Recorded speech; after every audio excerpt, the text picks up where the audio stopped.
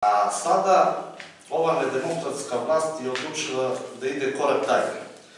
Kreće u politički progon, tako što pokušava da montira sudske procese.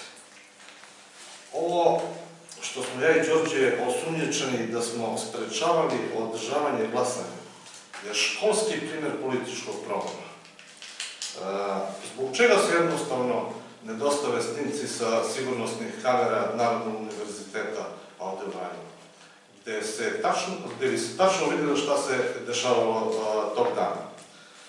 I ova naprednjačka vlast jednostavno mora da shvati da postoje ljudi koji slobodno misle, koji jednostavno ne žele da budu njihovi podanici. Ja se samo nadam, i time ću završiti, da, da pravosudni sistem ove zemlje neće pristati i da učestvuje u ovakvim političkim progonima. A što se nas tiče, mi ćemo nastaviti političku a, borbu za jedno uređeno demokratsko društvo.